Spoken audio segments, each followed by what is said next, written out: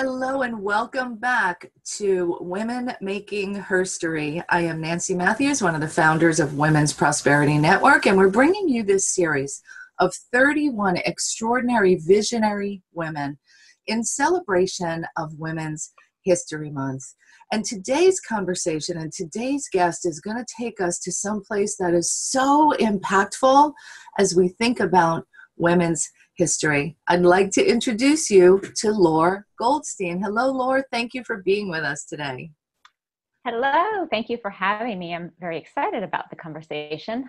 Me too. Me too. And uh, you are certainly a woman making her story. So let me share with our audience a little bit about your background. Uh, Lore Goldstein is known as the expert diagnoser. She is a professional psychic, past life expert, psychotherapist, spiritual teacher, believer in the healing forces of nature, an alchemist, an alchemist, adventurer, and hopeless fan of House Hunters International. I love that too. I'm such a voyeur. I love it. It's so good, right? Awesome. Um, but we'll, we'll talk about how that plays into visioning at some point. um, so, so Lore helps professionals and business owners move past anxiety, self-sabotaging behaviors, and overall unfulfillment through her powerful gift of quickly uncovering the root cause of why their life or their business or career isn't working the way they would love it to work. Lore's craft allows her to dig up the unseen so that her clients can quickly and efficiently move forward saving both time and money on solutions that don't work. So get in touch with her. She's magic. so, hi. I'm so grateful for you. Thank you. Yeah. So, so today, today's this is Women's History Month. We've been um, blessed with extraordinary women sharing about their story and their journey. And today's topic, I definitely want you to share on that. Um, and you have something really unique and valuable to bring to this conversation. And it's about how women's history in total impacts the woman I am right now. Mm-hmm. So, speak to that a little bit for us. Well, the, the way that um, I got to appreciate women's history and uh, the women that I'm going to talk a little bit about today is because of my work part of what I need to do with my clients is to look at the past light journey. I mean, essentially, looking at their past lives is how I garnish information about what they're struggling with, why they're experiencing what they are. And it didn't really dawn on me until I started doing this work that I realized the victimization energy that women currently hold in this lifetime. And this is because if you think about it, it wasn't too long ago that women really had no rights.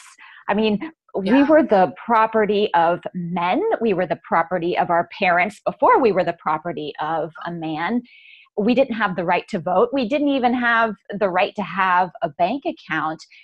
And when we are stuck in negative situations because of what society or the time period dictates for us, that energy is just perpetuated from lifetime to lifetime. So I had this aha moment as I kept tracking like victimization and anxiety and disempowerment. And I'm like, oh my gosh, this makes so much sense mm-hmm. because it wasn't really until maybe what 20 years ago if then i was a horrible history student that we could actually you know have the power of choice. So yeah. that's kind of how i got into this whole thing and, and really honoring the women who fought for women's rights. Beautiful beautiful. Well i want to go there in just a moment because uh, those are some of the women that have impacted me as well. And i want to speak to how we're born into this life. All right so disclosure, I was born in 1960. And at the time I was born, it, there, my mother could not get a credit card of her own without my father signing off on it. And then she got divorced from my father.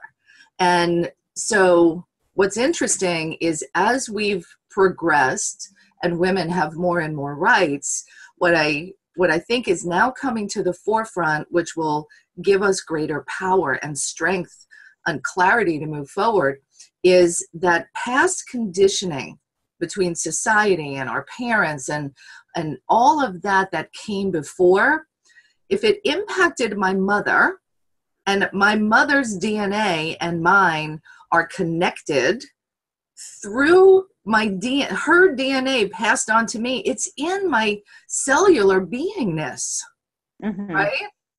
It is, it is. And two, from an energetic perspective, um, you know, the, the way that like karma works, making a choice and having a consequence, it's really an energetic form. And your your cellular memory stores energy. So you may not consciously remember, hey, you know, 10 lifetimes ago, I was, you know, enslaved to somebody and I was part of this harem. Um, and I, I couldn't even leave the compound your your body from an energetic perspective your cells still remember that journey. And mm-hmm. it sounds a little complicated. Maybe it is because it's kind of like you can't exactly see it but it does exist. Like you were saying that dna and yeah, it's that cellular memory. Yeah it's in there. Yeah so so it would make sense then with you as the expert diagnoser when you work with a client uh, and you listen and you hear this repetitive pattern and you say oh i really want this. I want to have an amazing loving relationship and i keep attracting jerks. I want to be wealthy and free and go on buy all those house hunter houses but i just seem i can't get out of this rat race right? So you know sitting here today someone would be in a state of you know bewilderment like why? Right? Mm-hmm. and trying so many different things. So talk a little bit about the process when you're working with clients. And I'd also like to know how this came to be your work and your herstory that you're creating. Okay. Um, all right. I'll talk about my like how I came into this work because I already forgot the first question. You asked me two Perfect. questions. I was like, oh, too many questions. You know, it was it was through divine intervention actually because i was doing traditional psychotherapy with people and i knew that i had the gift of helping people process their experiences and really transform their being uh, but I found psychotherapy to be a little bit tedious for me. It took a long time. Um, my clients were were sharing things with me, and I was like, "Yeah, that's kind of sort of it." But I knew that it was something deeper, and I just kept asking for guidance. I, I, always knew that I was different. I just didn't know what it was or how to use it. And really, uh, the right mentors fell into place at the time that I was actually ready to step into it mm-hmm. because it took a while to get over myself. I'm like, oh, I'm a licensed psychotherapist and I've had all this training and blah, blah, blah. And then, oh, by the way, you have this psychic ability to read souls and help people understand why they're experiencing what they are from a past life perspective. And it was like, oh what? Yeah it makes so much sense but i was like how can i tell people now that i have you know this woo stuff going on because i'm a psychotherapist? And well you had that that whole that whole conversation or contrast between science and spirituality too yeah because psychotherapy is very science based right and, it is. Right. Yeah. Yeah. So and, and I, it, it's timing. Yeah. it's really timing. And and and um I just want to add that when we speak about cellular memory, DNA passing on and passing on, that is science, my friends. It actually mm-hmm. is science. it is. It is. And if you think about it, here's how it how it works. And this is like super interesting we incarnate into families where there is a resonance to us. So when I have clients that are like, you know, why was I born into this family with all this childhood dysfunction? And, you know, maybe there was an abusive parent. They're like, am I being punished in this lifetime? It's like, mm-hmm. no. But that is a, a huge sign to me that somewhere in the past, they experienced that same thing. It's like stored in their memory. So when they incarnate, they know exactly what to expect it doesn't mean that it's healthy or happy or productive. It's just like, oh, I remember this from past experiences. I know how to navigate it. Um, so here I am, mm. going to try and you know figure it out again. And then so talk about remembering. Right. Right, remembering, and and the work that I do with neurolinguistic programming follows a similar path. Um, mm-hmm. So I, I get it, and what I see happen with people, and what you've shared with me about the work that you do, is it is truly, finally liberating when you get to that root cause. It is. It's so empowering because awareness is key. The second you're aware, it's like, oh my gosh, that makes so much sense. Now I'm conscious as to what not to do anymore. Mm-hmm. And then the other part of that is, you know, what am I going to replace that with? Let me figure out a new and improved action, thought, belief, whatever it is to take.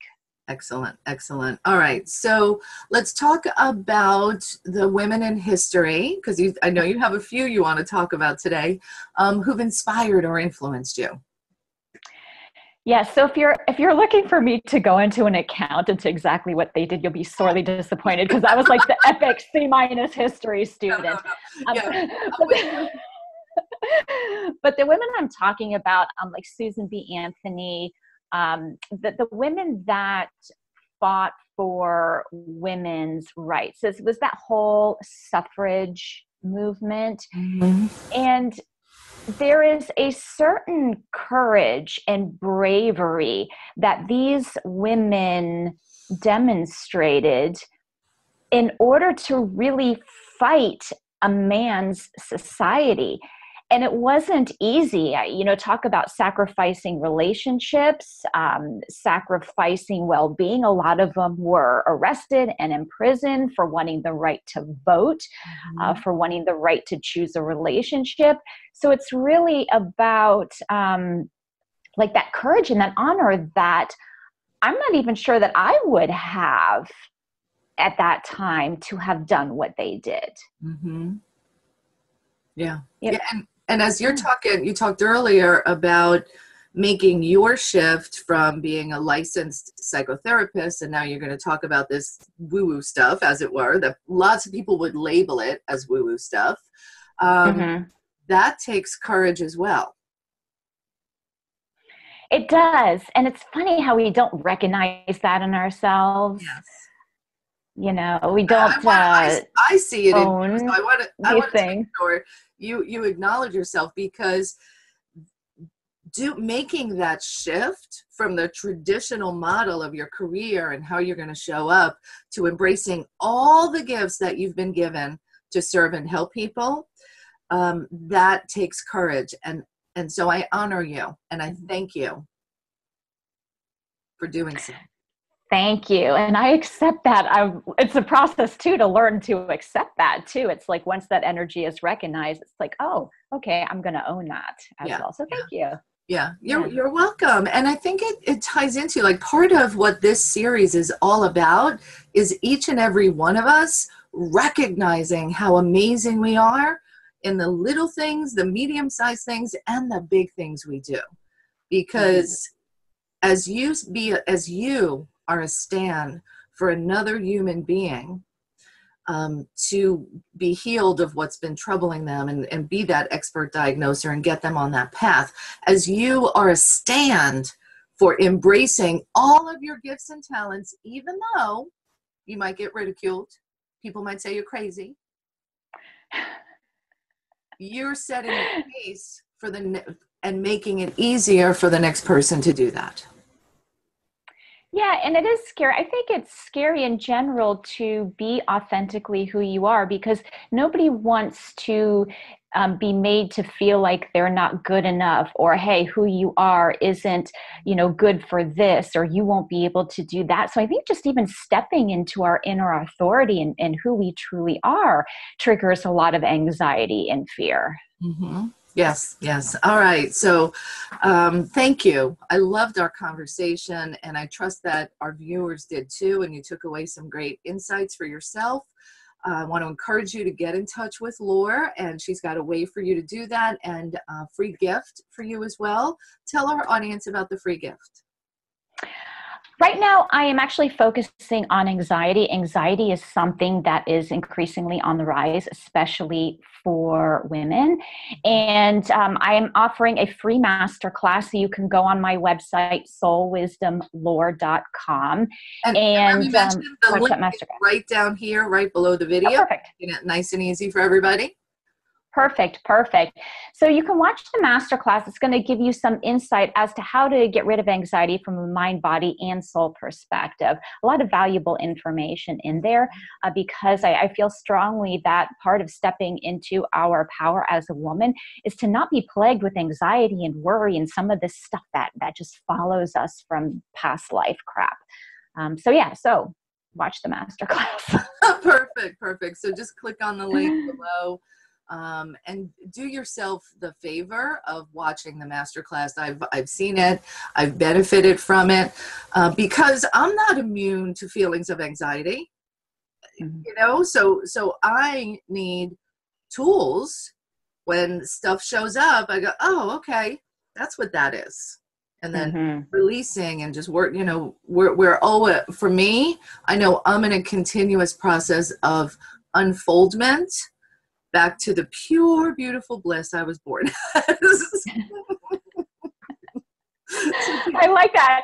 My language is restoring your divine soul blueprint, like how you were created at soul There level. you But it's the same thing. It's It- totally the same. correct correct i like that we'll we'll we'll have to interchange so um, that's great all right well lore thank you so much for being with us today and sharing your wisdom and your insights and being an amazing woman making history Thank you. And likewise, thank you for putting this together. This is really awesome. Yeah, my, my absolute pleasure and purpose. And to all our viewers, uh, be sure to check your inbox. There'll be another video coming your way. With an, um, you've seen some of them already. There's so many. Each and every woman in the series um, fills my heart, my spirit, and my soul, and my mind with goodness for me to continue making history. And I know that's happening for you too. So join us, check your inbox, and if you haven't yet, click on that button below that says join the movement because we need your voice. Women's Prosperity Network is here to give a platform to your voice and a community for your expansion, connections, and collaboration. So get the gift from Lore, click the join now button, and we'll see you next time. Have a beautiful, delightful day. Bye, Lore. Bye.